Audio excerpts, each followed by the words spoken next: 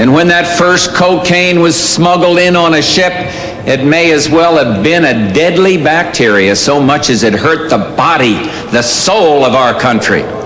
And there is much to be done and to be said. But take my word for it, this scourge will stop.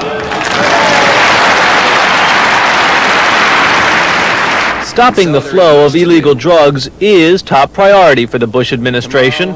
And now, for the first time, a presidential appointee will oversee the national anti-drug effort, making it an issue of highest national importance.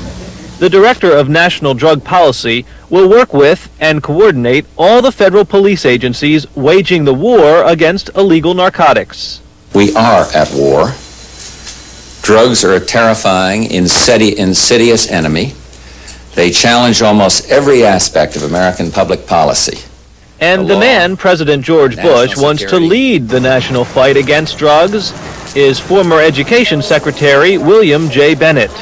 As Education Secretary, Bennett earned a reputation for speaking bluntly on issues about which he felt strongly. Uh, the bottom line is whether children start learning. Even as Education Secretary, Bennett was speaking out about drugs in the schools. The terrible fact is that among American students, drug use is not the exception. It is, in all too many places, too often, the norm.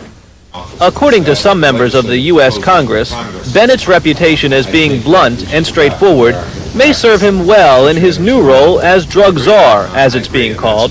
They say the person who holds this position has to be tough to confront the drug issues head on. This drug business is a serious business, and this government this administration intends to take it seriously.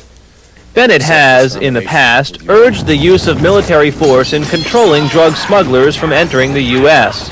But first and foremost, he says he wants Americans to realize how dangerous drugs are and make people aware of all the illegal drugs that are being brought into so many neighborhoods every day.